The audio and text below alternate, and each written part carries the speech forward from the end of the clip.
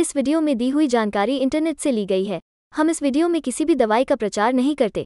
किसी भी दवाई को इस्तेमाल करने से पहले एक बार डॉक्टर से ज़रूर सलाह लें।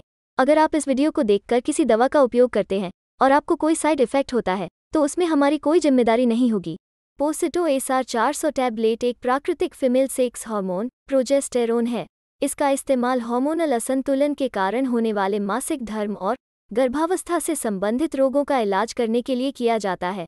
पोसिटो एसआर चार सौ टैबलेट को एंडोमेट्रियल हाइपोप्लासिया यानी कि गर्भाशय की लाइनिंग का मोटा होना की रोकथाम करने के लिए एस्ट्रोजन के साथ हार्मोनल रिप्लेसमेंट थेरेपी के भाग के रूप में भी निर्धारित किया जाता है इसे भोजन के साथ लिया जाना चाहिए। अधिक फ़ायदे के लिए हर दिन इसे एक ही समय पर लिया जाना चाहिए।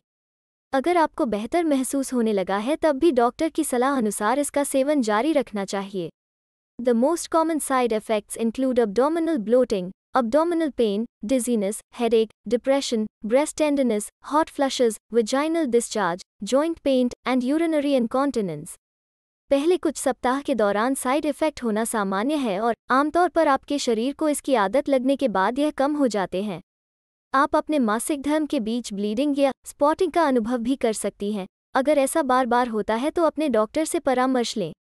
इस दवा को लेने से पहले, अगर आपको ब्रेस्ट कैंसर वजाइना में असामान्य ब्लीडिंग या कोई लिवर से संबंधित बीमारी है, थी तो अपने डॉक्टर को इसके बारे में बताएँ। इलाज के पहले भी और इलाज के दौरान भी गर्भ की जाँच के लिए संभवतः आपके कई टेस्ट होंगे।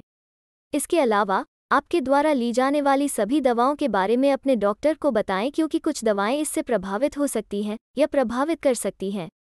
आमतौर पर शराब और धूम्रपान से बचने की सलाह दी जाती है।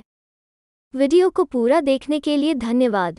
अगर आपको वीडियो अच्छी लगी हो तो वीडियो को लाइक करें और साथ ही हमारे चैनल को सब्सक्राइब करके नोटिफिकेशन बेल आइकॉन पर क्लिक करें और ऑल नोटिफिकेशन को क्लिक करें। धन्यवाद।